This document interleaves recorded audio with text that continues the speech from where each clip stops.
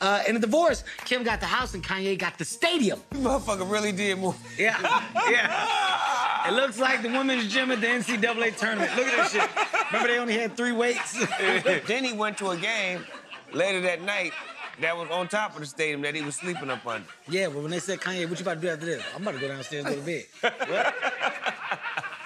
what? what? Tell them they gotta wrap this basketball shit up. I got a big day tomorrow.